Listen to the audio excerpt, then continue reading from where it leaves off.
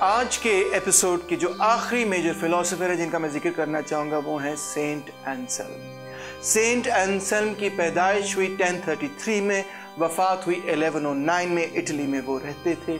Arch bishop of کینٹبری وہ بنے 1093 میں۔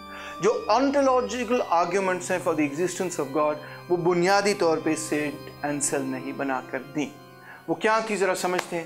سب سے پہلے انہوں نے جو تھیری دی خدا کے حوالے سے، وہ پروو کرنا چاہتے تھے پیگن فلاسفی کے خلاف کرسچینٹی کو سچا ثابت کرنا چاہتے تھے۔ تو انہوں نے the exemplar theory to prove the existence of God وہ کیا تھی؟ کہ ہر دنیا کے اندر جب ہم دیکھتے ہیں تو کوئی نہ کوئی اچھائی ہے۔ ہر طرف برائی بھی ہے اور جہاں برائی ہے، وہاں اچھائی بھی ہے۔ کوئی نہ کوئی ایسی اچھائی ہوگی جو کہ ان تمام اچھائیوں سے زیادہ سپریم ہوگی۔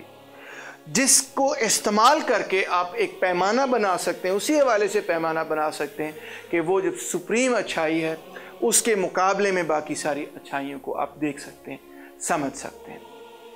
یہ جو ایبسلوٹ گڈنس ہے، جو کہ تمام اچھائیوں کا پیمانہ ہے یہ بنیادی طور پہ وہ پلیٹونک ایگزمپلار ہے، وہ ایسنس ہے، وہ تصور ہے، وہ سانچہ ہے اس تصوراتی دنیا میں کہ جس کی بنیاد پر تمام جو اچھائی ہیں دنیا کے اندر، ان کو ہم سمجھ سکتے ہیں۔ اور یہ سانچہ مکمل اچھائی کا سانچہ کہاں ہے؟ کدھر ہے؟ کیوں کر ہے؟ یہ صرف اور صرف ڈیوائن مائنڈ کے اندر پایا جا سکتا ہے۔ پھر دوسرے سطح پر سینٹ آنسر ہمیں یہ بتاتے ہیں کہ جو کچھ بھی ایگزسٹ کرتا ہے وہ ایگزسٹ کرے گا آؤٹ آف سم تھنگ یا out of nothing out of nothing تو کوئی ایسی چیز نہیں جو کہ ایگزسٹ کر جائے. لہٰذا جو بھی ایگزسٹ کرتا ہے وہ out of something exist کرتا ہے. وہ جو سم تھنگ ہے کہ جس میں سے ہر چیز ایگزسٹ کرتی ہے، اس کی ایک ہی فارم ہوگی، ایک ہی سانچہ ہوگا. اور وہ جو ایکسٹرنل سانچہ ہے، وہ جو یونٹری فارم ہے یونٹری بینگ ہے، وہ ان تمام چیزوں سے ایکسٹرنل ہے، وہ کیا ہے؟ وہ صرف اور صرف خدا کے دماغ یعنی ڈیوائن مائنڈ کے اندر پایا جا سکتا ہے.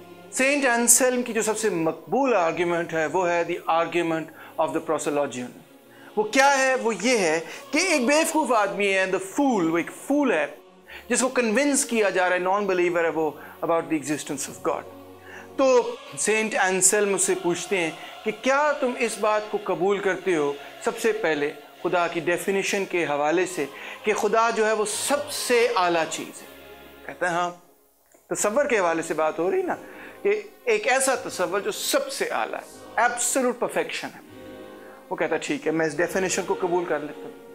کہتا اچھا آپ یہ تصور کرو اپنے ذہن کے اندر کہ یہ جو چیز ہے جو کہ ایبسلوٹ پرفیکشن ہے، یہ تمہارے ذہن کے اندر ہے، یہ ایگزسٹ نہیں کرتی۔ تم نے یہ تصور کیا؟ کہتا ٹھیک ہے، میں نے یہ تصور کیا۔ کہتا اس کا مطلب یہ ہے کہ ایسی چیز جو کہ ایبسولوٹ پرفیکشن ہے مگر ایگزسٹ نہیں کرتی، اس سے بھی زیادہ ایک پرفیکٹ چیز ہو سکتی ہے اس سے بھی زیادہ بہتر ایک اور اس سے بھی زیادہ ایک اعلیٰ چیز ہو سکتی ہے۔ کہتا ہے وہ کیا؟ کہتا ہے وہ یہ کہ ایک وہی چیز جو کہ ایکچویلٹی میں ایگزسٹ بھی کرتی ہو، اس چیز سے بہتر ہوگی کہ جو چیز صرف تمہارے تصور میں ایگزسٹ کرتی ہے مگر ایکچویلٹی میں ایگزسٹ نہیں کرتی ریئلٹی میں ایگزسٹ نہیں کرتی۔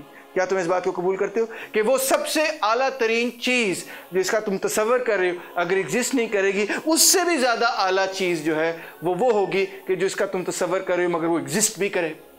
ہاں یہ تو بات آپ کی ٹھیک ہے۔ وہ زیادہ اعلیٰ ہوگی جو ایگزسٹ بھی کرے گی اور مکمل طور پہ وہ سب سے زیادہ اعلیٰ چیز ہوگی۔